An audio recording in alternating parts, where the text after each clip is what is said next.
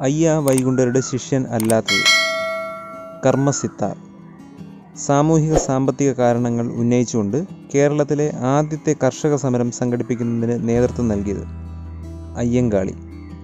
പത്രപ്രവർത്തനം സംബന്ധിച്ച ഒരു പ്രധാന പുസ്തകമായ വൃത്താന്ത പത്രപ്രവർത്തനം രചിച്ചത് ആര്? സ്വദേശാഭിമാനി രാമകൃഷ്ണപിള്ള. കേരളീയ സമൂഹത്തിൽ പിടിഐ സമ്പ്രദായവുമായി ബന്ധപ്പെട്ട സാമൂഹിക പരിഷ്കർത്താവ്. ചാവറ കുര്യാക്കോസ് ഏലിയാസ്.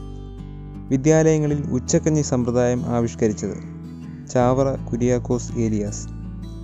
തിരുവിതാംകൂറിൽ ആദ്യമായി പന്തിഭോജനം കൊണ്ടുവന്നത് തൈക്കാട് അയ്യാ സ്വാമികൾ ശ്രീനാരായണ ഗുരു അന്തരിച്ചത് ആയിരത്തി തൊള്ളായിരത്തി ഇരുപത്തിയെട്ട് സെപ്റ്റംബർ ഇരുപത്. കോഴഞ്ചേരി പ്രസംഗം നടത്തിയതാര്? സി. കേശവൻ. ശ്രീബുദ്ധചരിതം രചിച്ചത് ആര്? കുമാരനാശാൻ. നമ്പൂതിരിയെ മനുഷ്യനാക്കുക എന്ന മുദ്രാവാക്യം ഏതുമായി ബന്ധപ്പെട്ടിരിക്കുന്നു? യോഗക്ഷേമ സഭ. ഡൽഹി ഗാന്ധി എന്നറിയപ്പെടു അറിയപ്പെട്ട നേതാവ്. നെയ്യാറ്റിങ്കര കൃഷ്ണൻ നായർ. പ്രബോധകൻ എന്ന പ്രസിദ്ധീകരണം ആരംഭിച്ച സാമൂഹിക പരിഷ്കർത്താവ്. കേസരി ബാലകൃഷ്ണപിള്ള. സുജനാ നന്ദിനി എന്ന പത്രം ഏത് വർഷമാണ് ആരംഭിച്ചത്? ആയിരത്തി എണ്ണൂറ്റി തൊണ്ണൂറ്റൊന്ന് കേരളത്തിലെ സാമൂഹിക പരിഷ്കർത്താക്കളുടെ മാർഗദർശി എന്നറിയപ്പെടുന്നത് വൈകുണ്ഠസ്വാമി. വൈകുണ്ഠസ്വാമി എന്നറിയ എന്നറിയപ്പെടുന്ന മറ്റൊരു പേര് മുത്തുക്കുട്ടിസ്വാമി. കേശവനാശാൻ സുജനാനന്ദിനി പത്രം ആരംഭിച്ചത് എവിടെ നിന്ന്? പറവൂർ.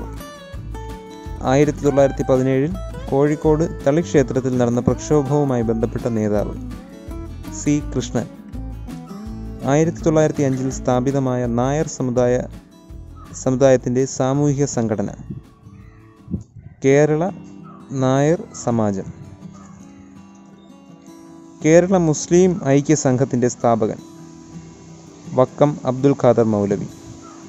വൈക്കം സത്യാഗ്രഹം ആരംഭിക്കുമ്പോൾ തിരുവിതാംകൂർ ഭരണാധികാരിയായിരുന്നത് ശ്രീമൂലം തിരുനാൾ. ഐക്യം എന്ന പ്രസിദ്ധീകരണത്തിന്റെ പത്രാധിപരായിരുന്നത്. സീതി സാഹിബ്.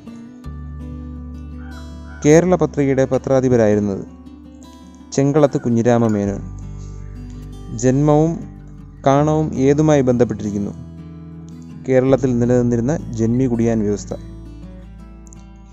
ആയിരത്തി തൊള്ളായിരത്തി നാൽപ്പത്തി ഏഴിൽ തിരുവിതാംകൂറിൽ നിയമനിർമ്മാണ സഭയിലേക്ക് കാഞ്ഞിരപ്പള്ളിയിൽ നിന്ന് എതിരില്ലാതെ തിരഞ്ഞെടുക്കപ്പെട്ടത് ആര്? അക്കാമ ചെറിയ ചട്ടമ്പി സ്വാമികൾ ജനിച്ച വർഷം ആയിരത്തി എണ്ണൂറ്റി അൻപത്തി മൂന്ന്.